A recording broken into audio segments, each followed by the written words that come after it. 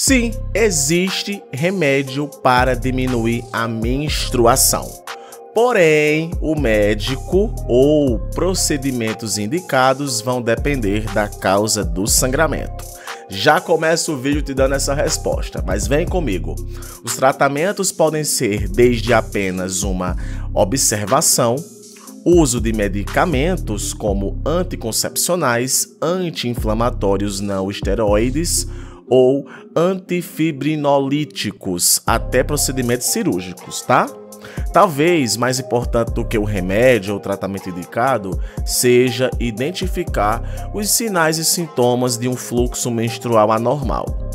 Fluxo considerado aumentado, que nós chamamos de menorragia, para que nesses casos procure rapidamente um médico ginecologista que saberá definir a causa e iniciar um tratamento, evitando maiores riscos e complicações para a saúde da mulher. Aí aqui olha só, sinais e sintomas de fluxo menstrual aumentado. Vou fazer aqui para você uma lista, tá? O absorvente íntimo ou tampão vaginal duram menos de duas horas. O sangramento ultrapassa a roupa de cama, mancha o colchão ou roupa em uso regularmente. Quando o sangramento vem acompanhado de coágulos grandes, acima de um centímetro. O sangramento é abundante desde a primeira menstruação.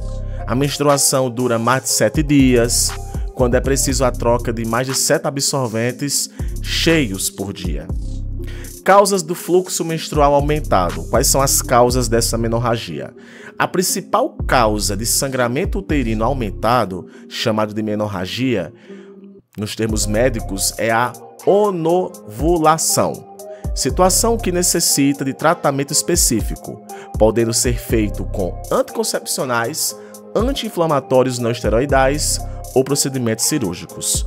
Outras causas para o fluxo menstrual anormal são distúrbios hematológicos, presença de pólipos, miomas ou outros tipos de tumores, doenças inflamatórias pélvicas, uso crônico de certos tipos de medicamentos, gestão ectópica, tá?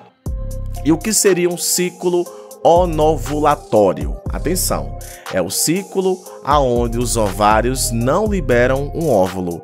Assim não é formado o corpo lúteo. O corpo lúteo, por sua vez, tem a função de produzir progesterona, que se propõe, ou melhor, que se opõe ao estrogênio, não permitindo que estimule a maneira excessiva do útero. Quando não ocorre a ovulação e formação do corpo lúteo, o estrogênio age sozinho no ciclo, aumentando ainda mais a parede do útero, que quando descama leva a um sangramento aumentado. Algumas vezes a quantidade de sangue é tão grande que necessita de abordagem cirúrgica para poder controlar a hemorragia e evitar riscos maiores em mulheres. Então o ideal é sim que você procure um médico ginecologista profissional responsável para avaliar esse transtorno e capacitado para definir a causa, razões e circunstâncias de estar acontecendo e te indicar o melhor tratamento, tá bom? Espero muito ter ajudado você nesse vídeo. Deixa aqui nos comentários mais dúvidas que eu irei trazer as respostas para vocês, tá bom? Não esquece, deixa teu gostei no vídeo, um abraço e tchau, tchau.